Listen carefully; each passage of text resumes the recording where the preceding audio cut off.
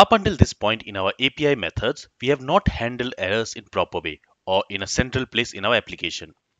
What we did is we simply sent back an error message as JSON in each route handler in case something went wrong. And that's what we are going to fix in this section and learn how to do a proper handling in our Express app. There are two types of error that can happen in your Express app, operation errors and programming errors. Operation errors are the problems that we can predict that will happen at some point in future. And so we need to handle them in advance. Operational errors have nothing to do with bugs in our code. Instead, they depend on the user or the system or the network. For example, a user might try to access an invalid route. So we need to handle such kind of actions by the user. In the same way, if the user is inputting some invalid data, that also we need to handle from our application. Another example would be when application failed to connect to the server or the database, or when a request times out. So all these are examples of operational errors. And we need to handle these operational errors in order to prepare our application for these cases. Operational errors are also sometimes called as exceptions. Then we have programming errors. So programming errors are simply bugs that we programmers by mistake introduces them in our code. For example, trying to read properties from an undefined variable, or using await without async, or accidentally using request.query instead of request.body, or passing a number where an object is expected. So these errors are really inevitable and also more difficult to find and to handle. So I hope now you have an understanding of difference between operational errors and programming errors. So when we are talking about error handling with Express, we mainly just mean operational errors because these are the ones which are easy to catch and handle with our Express application. And Express comes with error handling out of the box.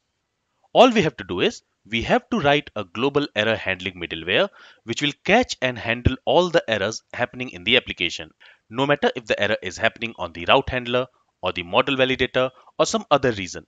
This global error handling middleware will catch all the errors and handle them accordingly. Now, the beauty of having a global error handling middleware is that it provides a nice separation of concern. So in this way, we do not have to worry about error handling right in our business logic or in our controller or anywhere else in our application. We can simply send the error to the global error handling middleware where it will be processed and handled. So let's go ahead and let's implement one such global error handling middleware for our Express app. And using this global error handling middleware, we are going to handle the requests for the URL for which we do not have defined a route. For example, currently we are creating a default route for that. And from within this default route, we are sending some JSON response with the status as fail and with some error message. But instead of doing it like this, we are going to use the global error handling middleware. In the same way, if we go to our movies controller, you see for each of the route handler functions, we have this catch block and from within this catch block, we are sending some error message. Basically, we are handling the error and sending some error message to the client. So we are also going to handle these types of errors from the global error handling middleware. So let's go ahead and let's create a global error handling middleware. For that, here, let me go ahead and let me use app.use. And to this app.use, we can pass a middleware function. Now, in order to make this middleware function as global error handling middleware, we need to pass four arguments to it. And the first argument should always be the error. This error parameter which we are passing here, it is going to receive the error object, the error which has occurred. Then we also need to specify the request, response, and the next function.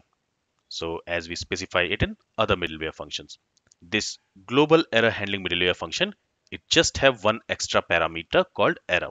So when we specify these four parameters for a middleware function, Express app will automatically recognize it as an error handling middleware.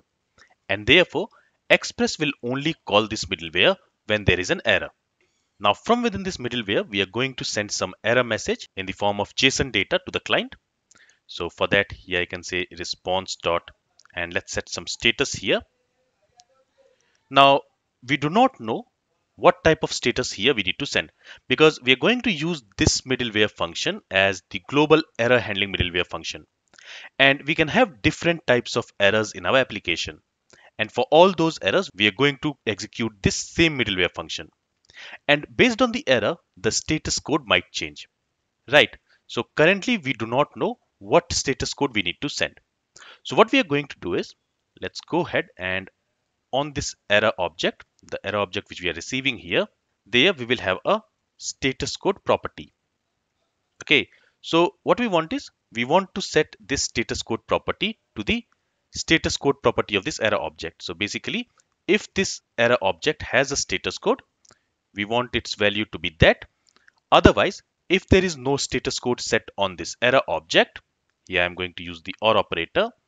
In that case, we want to set it to default 500. Now here we are defining a default status code because those errors which are not created by us but some other code in our application, those will not have any status code. So that's why we are setting the status code to 500 which means internal server error which is a kind of standard here. Okay, so if this error object has a status code, we want to send that status code in the response. But if it does not have a status code set, in that case, we want to send this status code 500. And now let's go ahead and let's pass this status code to this status method. And then we want to send some JSON data in the response. For that, let's use this JSON method. And in there, let's specify an object. In that object, we are going to set the status. And here we want to set the status to error.status. So whatever value we have inside this status code property of this error object, and then we also want to set a message property here. And to this message property we want to assign the message property of this error object. Okay? And here when we are setting the status code let's also go ahead and let's set the status. So error dot status.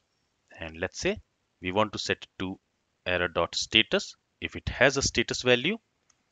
Otherwise we want to specify a default value for it if this error object does not have a status value. So let's say in that case, we want to set it to error.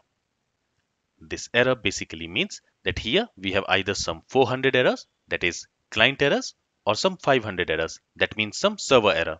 That's what this error means. So this is our very simple error handling middleware. Now, whenever we want to call this error handling middleware from any part of our application code, there, first we need to create an error object. So let's say when a user types a URL for which there is no route defined, then in that case, we want to call this global error handling middleware function. To do that, let me go ahead and let me comment this code. I will keep it for your reference. So from here, now we want to call this global error handling middleware. For that, first we need to create an error object. So here I'm going to use this const keyword and let's create an error object. Let's simply call it error or here I will call it as ERR. And here we are going to instantiate this error constructor. So this error constructor is a built-in constructor available in JavaScript. And we use this error constructor to create an error object. Now, we are going to pass this error object to this global error handling middleware function when we are going to call it. And on that error object, we are expecting a status code a status and also a status message. Okay, so here on this error object, we need to set these properties. Now, how are we going to do that? Well, let's just go ahead and let's set the message property on this error object. And to do that, what we need to do is we need to simply pass a string value to this error constructor. And in there, we can specify the error message. So here let me go ahead and let me copy this line. So this is the error message which we want to set on this error object. I'll copy it from here and I'll simply paste it here. And then we also need to set the status code and the status. So here, let's say err dot status, it's equal to fail and err dot status code, it's equal to here you see we were passing this 404 status code. So let's set it to that. Now the question is how are we going to pass this error object which we have created here to this global error handling middleware function? Well, for that, we need to call this next function. So let me go ahead and let me call this next function. and we are going to call this next function in a special way. So earlier, whenever we called this next function from any other middleware function, we simply called it like this. We never passed any argument to this next function. But now we are going to pass this error object to this next function. So this time we are passing an argument to this next function when we are calling it. So when we pass an argument to the next function, no matter what that argument is, Express will automatically know that there was an error. Okay, so here when we are passing this error object to this next function, Express will assume that some error has occurred. In that case, Express will skip all other middleware functions which is currently present in the middleware stack and it will directly call the global error handling middleware function. Okay, when we are passing an argument to this next function, Express will assume that an error has occurred. It will skip all other middleware functions which we have in the middleware stack and it will directly call this global error handling middleware function. And it's not only the error object. If I pass any argument to this next function, let's say if I pass 100 here, in that case also Express will assume that some error has occurred and it will directly call the error handling middleware function. It will skip all other middleware functions and it will call the error handling middleware function. Okay. But here we want to pass the error object. So now what this next function will do is instead of calling next middleware function in this stack, it will call the global error handling middleware function. And there this error will be assigned to this error object, this error parameter. Okay, and that should be it. So let's go ahead and let's save the changes and let's test it out. Let's go to Postman and from there, let's make a request to this URL slash API slash v1 slash movies. In this case, we should get all the movies in the response. But if I say, let's say movies, if I misspell this movies, if I type extra s here, in that case, we don't have any route which matches this URL pattern because we don't have any resource called movies with double S. So in this case, this route will match and this middleware function will be called. And from within this middleware function, we are calling the global error handling middleware function by calling this next method, right? So if I go back to Postman and if I make this request, you see, we have this JSON data in the response where the status is 404 and messages can't find this URL on the server. So this is how we define a global error handling middleware. Now we can also call this global error handling middleware from our movies controller. So basically from these route handler functions. Here we have this get all movies route handler function and in the catch block we are sending some response with the error message to the client. But here also we can go ahead and we can create a new error object we can set the status and status code and also the message property on that error object and we can call the global error handling middleware function by calling the next method and passing an error object to it.